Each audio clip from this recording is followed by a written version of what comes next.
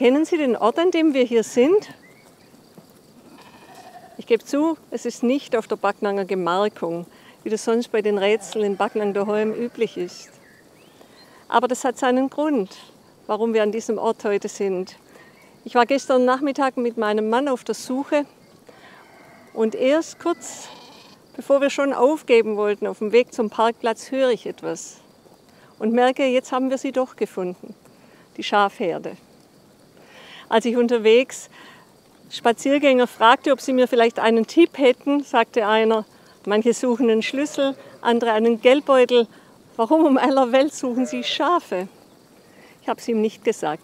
Aber Ihnen heute sage ich es. Es hat mit dem Sonntag zu tun. Es ist nämlich der Sonntag vom guten Hirten. Und ein Hirte ohne Schafe, das geht nicht. Ich finde Schafherden faszinierend.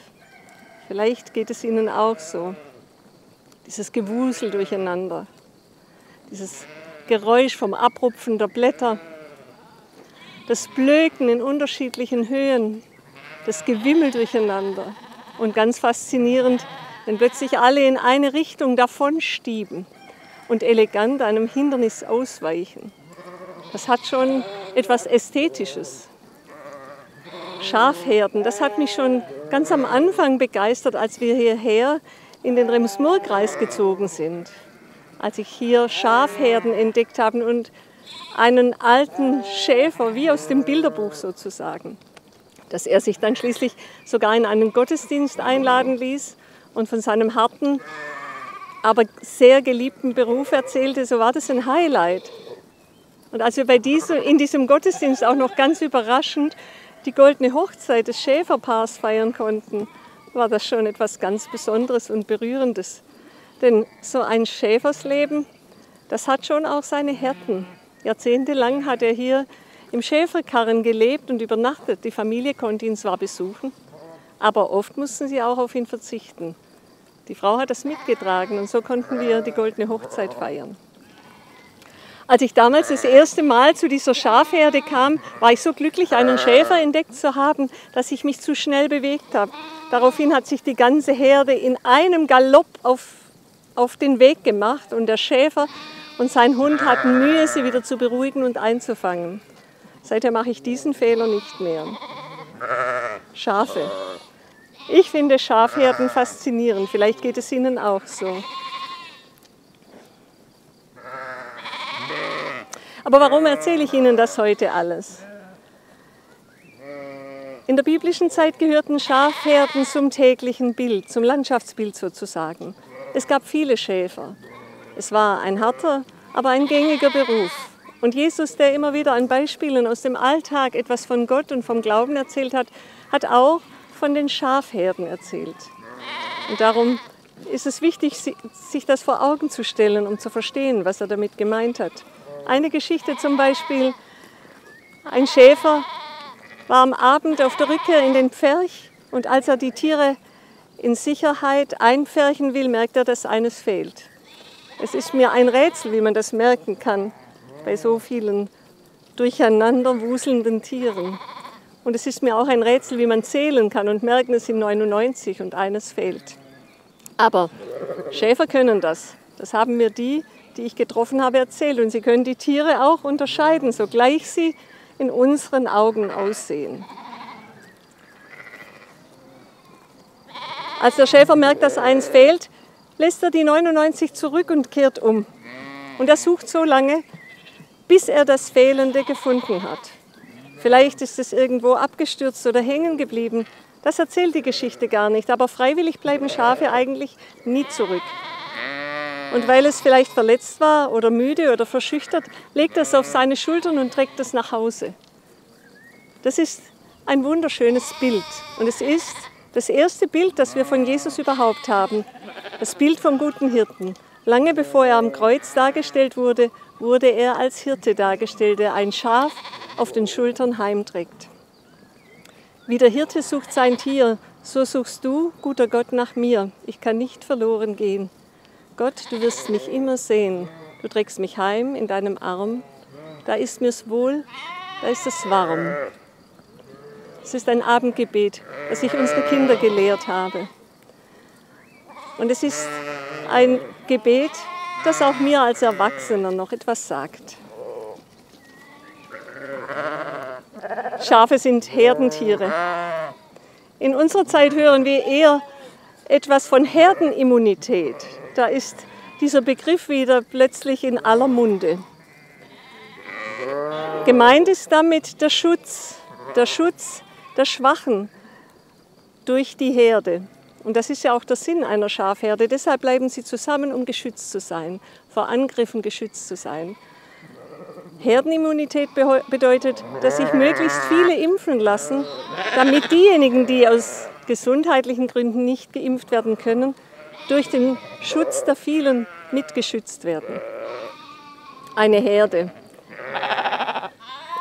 Wenn ich jetzt so eine Schafherde anschaue, dann wird mir besonders bewusst, wie schwer Vereinzelung ist, die wir gerade immer einüben müssen. Wie schön es ist, miteinander unterwegs zu sein. Wie fröhlich das klingt, wenn alle durcheinander blüten. Und wie sehr ich das vermisse, dass wir uns nicht mehr begegnen können, miteinander singen, miteinander reden, miteinander feiern, auch Gottesdienste feiern. Ich freue mich schon auf die Zeit, wenn das wieder gehen wird. Aber im Moment müssen wir Abstand halten. Und ich wünsche mir sehr, dass wir das auch wieder verlernen. Dass der Händedruck nicht ganz aus der Mode kommt. Dass wir uns wieder unbefangen umarmen können. Und dass der Begrüßungskuss wieder dazugehört. Ich vermute, das wird nicht ganz einfach. Aber ich glaube, da werden wir die Kinder brauchen. Mit ihrer Unbefangenheit, die uns dazu helfen können. Eine Herde braucht einen Hirten. Jesus sagt von sich, ich bin der gute Hirte und ich kenne die meinen. Die meinen kennen mich. Ich bin der gute Hirte. Der gute Hirte gibt sein Leben für die Schafe. Hirten. In Israel wurden die Könige Hirten genannt. So sollten sie sich verstehen in ihrem Amt als Regierende, in ihrer Verantwortung. Sorgend für andere, sich nicht dienen lassen, sondern dienen sich einsetzen für die Schwachen. Und die Propheten, die immer wieder die strengsten Kritiker der Regierenden, der Könige waren, sie fragten immer wieder danach, ob die sich auch ihrer Verantwortung vor Gott bewusst seien. Sie fragten, weidet ihr die Herde oder sorgt ihr nur für euch selber?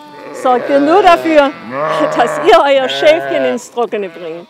Die Schafherde unterstützt mich mit Nachdruck bei diesem Prophetenwort. Wisst ihr, dass ihr euch vor Gott verantworten müsst in dem, was ihr tut? Hirten sind nötig. Ich bin kein Schaf, sagen viele und verkennen damit das, was dieses Bild eigentlich sagen will. Ich glaube, dass wir Hirten nötig brauchen, und zwar zum Schutz für die Schwachen und darum, dass nicht die Gemeinschaft miteinander besinnungslos in einen Abgrund rennt. Und ich bin froh, dass es Verantwortliche gibt, die dieses Hirtenamt wahrnehmen. Und da kann man natürlich laut dagegen anblöken, das ist einfach. Natürlich ist es wichtig, dass wir die Errungenschaften der Demokratie wahren. Aber Demokratie wird viel eher dadurch gefährdet, dass Menschen die Gefahr verharmlosen oder dass sie mit der Angst operieren und die Angst der Menschen ausnutzen. Also Kritik ist gut, aber einfach dagegen anblöken, das finde ich wenig angemessen. Der Herr ist mein Hirte. Das ist das bekannteste Gebet, das wir kennen in der Bibel. Für viele Menschen gehört es zur eisernen Ration. Und auch die Konformanten der Stiftskirchengemeinde haben es für die Konfirmation oder vielmehr für ihr Leben wieder auswendig gelernt.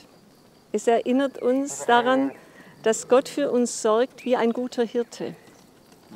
Das ist gar nicht so leicht eingängig, wie es sich anhört. Es gibt in dieser Zeit ja auch viele Hirtinnen und Hirten, die sich umeinander annehmen und die Hilfe anbieten.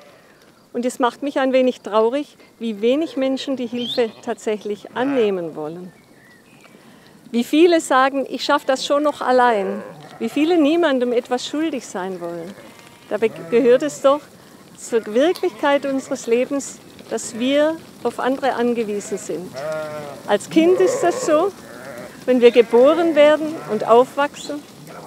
Und als alte Menschen brauchen wir nicht so nötig wie eine Hand, die uns hält. Dazwischen vergessen wir das manchmal und vergessen auch das Vertrauen. Das Vertrauen, das für uns gesorgt ist. Ich glaube, das können wir in diesen Tagen wieder neu lernen. Ich wünsche Ihnen einen gesegneten Sonntag und vielleicht mögen Sie mitbeten. Der Herr ist mein Hirte, mir wird nichts mangeln. Er weidet mich auf einer grünen Aue und führet mich zum frischen Wasser. Er erquicket meine Seele. Er führet mich auf rechter Straße um seines Namens willen.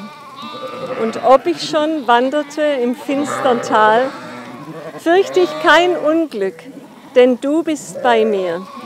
Dein Stecken und Stab trösten mich. Amen.